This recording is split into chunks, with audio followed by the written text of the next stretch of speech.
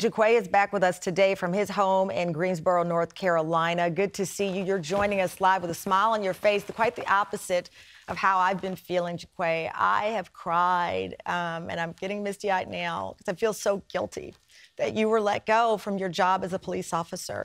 We talked behind the scenes and on camera, and you'd expressed so much pride in being a police officer and so much pride in trying to build a relationship between your community and your department. And when I heard you'd been fired um, after the show had aired, it was on in the police department, um, the episode, and you came back in. What was the reaction immediately from the folks there watching? So previously, when so the video was showed when I was out on live patrol, and it was actually showed in the records because the Tamron Hall show plays inside the police headquarters. You know, it's a bunch of ladies that watch it in records. So when I came back into the police station, it just seemed like all eyes were, you know, our eyes were on me and things like that. But the response I got from the other officers was, you did what was right. You stood on what you needed to stand on. You were under investigation before the appearance on the show for using your social media to post that impassioned plea about George Floyd and, and what what what had happened? Did you was it a combination of what i'm still struggling to understand why i get being reprimanded the social media policy but it seems so severe of a reaction knowing your intentions. Yeah um, so when the george floyd video was posted it went viral really fast. I was called to internal affairs and I guess it reached it reached them, and they told me that I shouldn't be posting a uniform, taking videos down. So literally after I left the office, I took the videos down, and I mean, but the so, social media just took the videos and it went to new heights. And you appeared on our show not in uniform, and you had your hearing in August.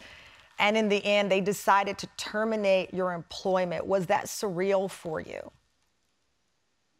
Yeah, it was really surreal because I felt like I worked really hard for something and it was just snatched away from me. You know, like I enjoy what I was doing as far as like helping the community or whatnot, but when they took it away from me, it was, you know, it was a it was a shock.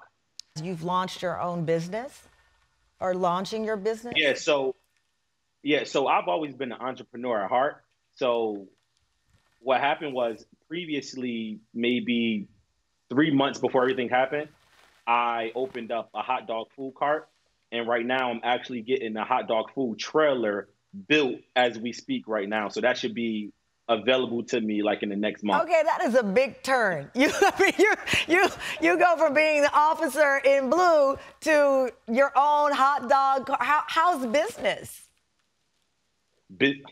business is great. Oh, business I love it. You know what? Okay, I'm not going to cry for you now. The pivot is real. I love it. You know, I tell people uh, the pivot will come. Sometimes it'll be a painful experience, and you have to be ready for it because it is always going to come.